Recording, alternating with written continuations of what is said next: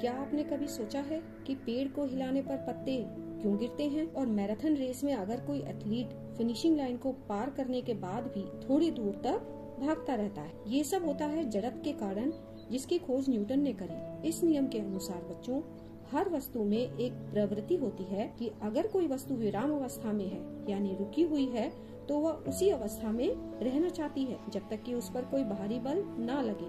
अगर वह गतिशील है तो वह गति में ही रहना चाहती है, जब तक कि उस पर कोई बाहरी बल ना लगे। इसलिए जब हम पेड़ को हिलाते हैं तो हमने शाखा पर बल लगाया, पत्ते पर नहीं वह पत्ते विराम अवस्था में ही रहना चाहते थे और शाखा के हिलते ही वह झटके से नीचे गिर जाते। इसी तरह मैराथन दौड़ में जब एथलीट गतिशील होता है तो वह गति में ही रहना चाहता है। लेकिन धीरे धीरे विपरीत दिशा में उस पर घर्षण बल लगता है और वह भी अपनी तरफ़ से बल लगाता है, जिसके कारण वह रुक जाता है।